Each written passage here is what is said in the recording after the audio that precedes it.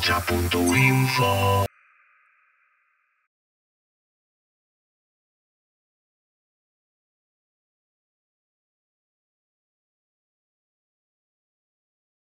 Somos la iniciativa popular Miquel Arregui Gogoan de la Cunza.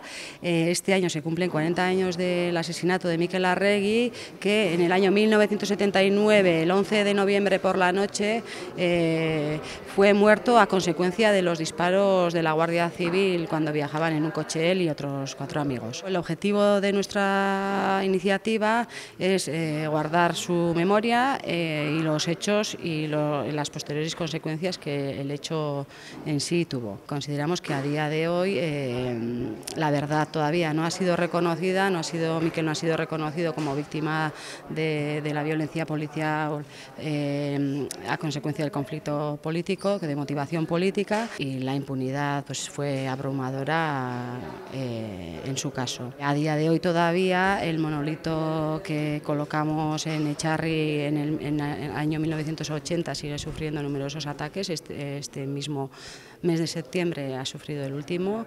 Eh, por otra parte también... Eh, la ley que aprobó el Parlamento Navarro en la anterior legislatura eh, sobre víctimas a manos de funcionarios públicos y grupos paramilitares con motivación política ha sido suspendida a través del recurso del abogado del Estado por inconstitucional, una ley navarra que no sigue su curso.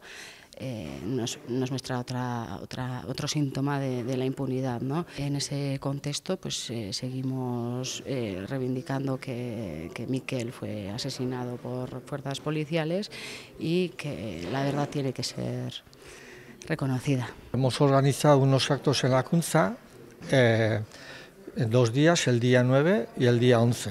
El día 9 va a haber una mesa redonda en, la Casa Cultura de la Cunza y tomarán parte pues, eh, Fermín Rodríguez, tomará parte también Charo Arregui, hermana de Miquel Arregui, el hermano de, de Naparra, Nerea, hermana de Basajaun, y tomará también parte Ideoya Zabalza.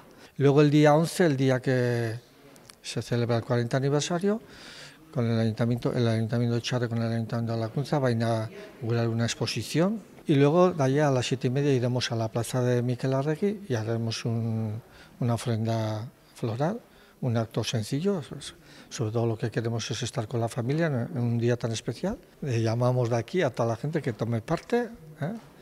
y a ver si conseguimos el objetivo nuestro, que es que se sepa la verdad y se reconozca lo que pasó hace 40 años.